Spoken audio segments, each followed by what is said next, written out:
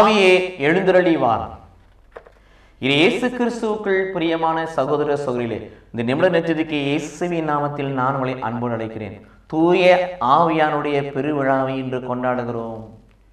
இயேசு விண்ணகம் சென்ற அந்த பத்தாம் நாளிலே வெந்த கோஸ்து என சொல்லப்படுற ஐம்பதாவது நாளிலே தந்தை வாக்களித்த பரிசுத்தாவியை அப்போஸ்தலர் மீதும் அன்னையின் மீதும் பெண்கள் மீதும் அந்த மாடியறையில் கூடிய யாவர் மீதும் அக்னிமயமாய் ஊற்றினார். இது இயேசு கிறிஸ்துவுக்குள் பிரியமாறலையே அந்த அனுபவத்தை தான் பார்க்கிறோம். தூய ஆவியானவரே எழுந்தருளி வாரும். கடவுள் மீது நான் நம்பிக்கை கொள்ளுகின்ற போது கடவுள் மீது விசுவாசம் கொள்ளுகின்ற போது தான் பெந்த கோசை அனுபவத்தை தருகிற பரிசுத்தாவியை பெற்றுக்கொள்ள முடியும். யோவான் செய்தி ஏழாம் அதிகாரம் முப்பத்தி ஏழு முப்பத்தி எட்டு முப்பத்தி ஒன்பதுல வாசிக்கிறோம். இயேசு பெருமான் என்ன வார்த்தை சொல்லுகிறார்? யாரேனும் தாகமாயிருந்தால் என்னிட வரட்டும் விசுவாசம் உள்ளவன் குடிக்கட்டும். அவன் உள்ளத்திலிருந்து ஜீவனுள்ள தண்ணீரை ஆராய் பெருக்கெடுத்து ஓடச் செய்வேன் யாரை குறித்து அவர் அவ்வாறு சொன்னார்? தன்னில் நம்பிக்கை கொள்பவர்கள் தன்னில் விசுவாசம் கொள்பவர்கள் பெறப்போகிற பரிசுத்த ஆவியானவரை குறித்து அவர் அவ்வாறு சொன்னால் எழுதப்பட்டிருக்கிறது. நம்பிக்கை. கடவுள் மீது நம்பிக்கை கொள்வதில் நாம் எந்த புஸ்தை அனுமதி தருகிற பரிசுத்த ஆவியானவரை பெற்றுக்கொள்ள முடியும். திருத்துதர் பணி பத்தாம் அதிகாரம் ஒன்றில் வாசிக்கிறோம். எபேசி திருச்சபை மக்களை பார்த்து பவுடியார் கேட்கிறார் நீங்கள் நம்பிக்கையை தழுவியபோது பரிசுத்தாவியை பெற்றுக்கொண்டீர்களா? நம்பிக்கை கொள்ளுகின்ற பொழுதுதான் கடவுள் மீது நம்பிக்கை கொள்ளுகின்ற பொழுதுதான் பரிசுத்தாவியை பெற்றுக்கொள்ள முடியும்.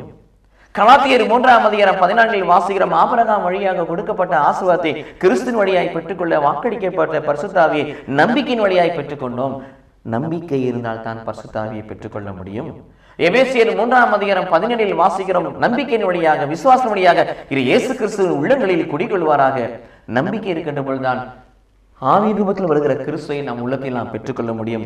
இது இயேசு கிறிஸ்துக்குள் பிரியமானவர்களே நாம் இந்த அனுபவத்தை பெற்றுக்கொள்ள வேண்டும் கோஸ்தை அனுபவம் என்பது முதல் முதலில் நம்பிக்கையின் வழியாக வருகின்ற பரிசுத்தாவியானவர் ஏசியா பதினொன்று இரண்டின் பிரகாரம் கொடைகளை கொடுப்பார். நாம் கலாத்தியர் ஐந்து இருபத்தி ரெண்டின் பிரகாரம் கனிகளை கொடுக்க வேண்டும். அதன் பிறகு அவர் ஒன்று குருந்தியர் பன்னிரெண்டாம் அதிகாரத்தில் வாசிப்பது போல வரங்களை கொடுப்பார்.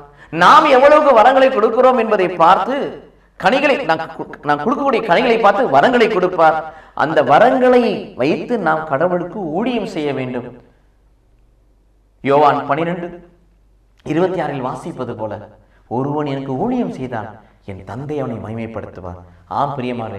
கொடைகளை பெற்று கனிகளை கொடுத்து வரங்களை பெற்று ஊழியம் செய்து தந்தையால் மகிமைப்படுத்துகிற அனுபவத்தை யார் பெற்றிருக்கிறார்களோ அவர்கள் பெண்டே கோஸ்தே அனுபவத்தினால் நிறைவு செய்யப்பட்டவர்கள்.